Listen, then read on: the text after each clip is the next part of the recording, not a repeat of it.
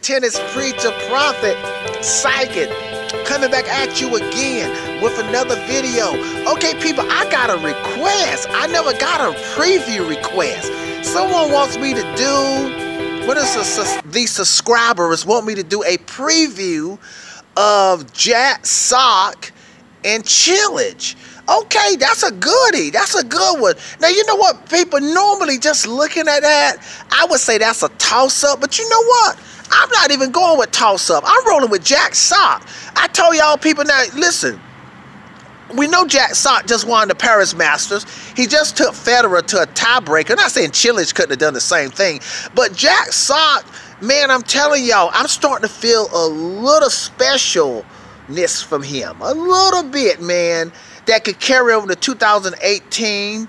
And uh, man, I'm gonna roll with Jack Sock to beat Cilic. Now I know Cilic is, could beat him. Cilic is U.S. Open champion. We know what Cilic can do. But I'm gonna go with Jack Sock on this one.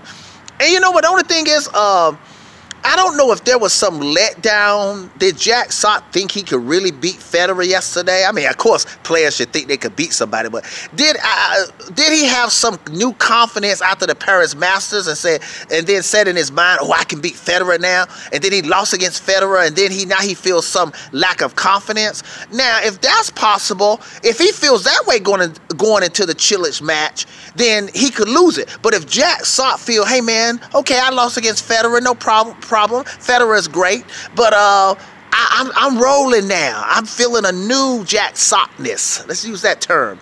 Uh, Jack Jack Sock can't beat Cilic, so I'm gonna take Jack Sock to beat Cilic. Just slightly favor him. I'm gonna go with Jack Sock. Yeah. Okay, people. Magic Man, tennis preacher, prophet, psychic. Signing off. Have a good one.